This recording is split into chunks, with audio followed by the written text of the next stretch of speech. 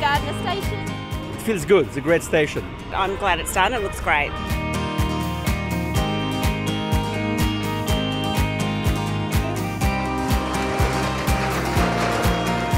This is a magnificent looking station. It's high quality design. Got up early and came down and caught the first train from the new station. Don't mind the modern look, it's good. Massively different. The old station was quite run down and this one's looks quite new and modern. Looks pretty good, it's easy to use. That definitely makes things easier crossing the road. I was uh, delighted. I mean, um, this is we we be, we are in the 21st century. Um, out with the old, in with the new, as they say. Definitely think I would feel a lot safer. There seems to be a lot more cameras and lights. So we really do appreciate the patience of the local community here. There's been uh, some disruption.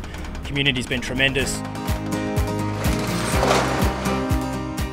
We'd also like to thank the families of all the workers and the staff uh, for all the long hours that everybody's had to put in over the last six months, but it certainly uh, has been worth it. It was great. It was so much easier crossing the road and getting across here.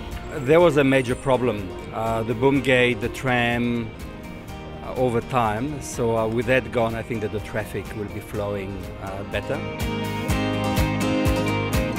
To date, we've got a billion dollars worth of contracts out there in terms of these level crossings. Eight have already been started.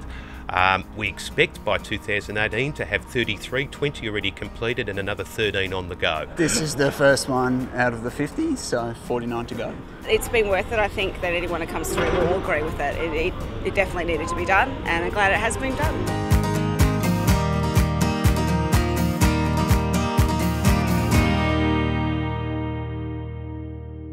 Authorised by Victorian Government, 1 Treasury Place, Melbourne.